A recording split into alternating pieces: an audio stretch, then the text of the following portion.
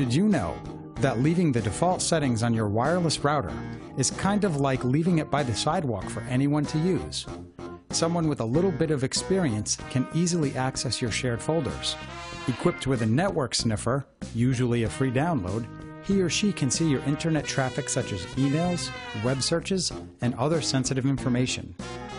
This video aims to get you started on some basic network security practices.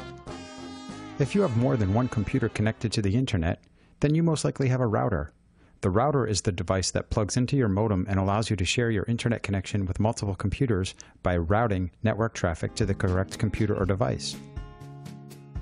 If you followed the instructions when setting up your router, you probably have decent settings. In case you didn't, let's see how easy it is to make some small yet important changes to those settings. Change the default password to log into your router.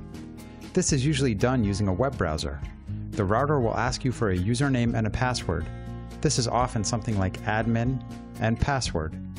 The first thing we'll do is to change this. This will help to prevent unwanted people or programs from gaining access to your router. As with any password, use something that is hard to guess.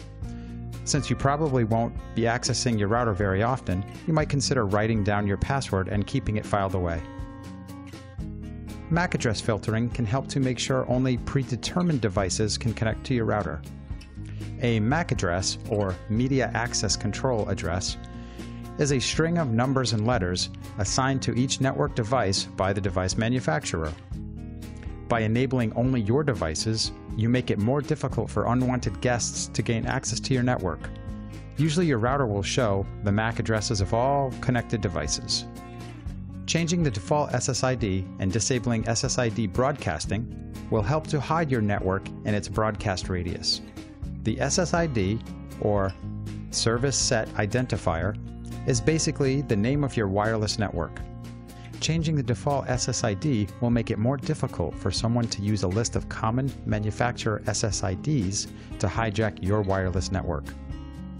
Normally, the router broadcasts this name so that your devices can easily locate the wireless network. Unfortunately, this makes your network known to others as well. Many routers allow you to disable SSID broadcasting. The bad news is that you will have to manually create a network connection for each wireless device the first time that you connect that device. The good news is that usually it's as easy as selecting Add New Network, entering the SSID,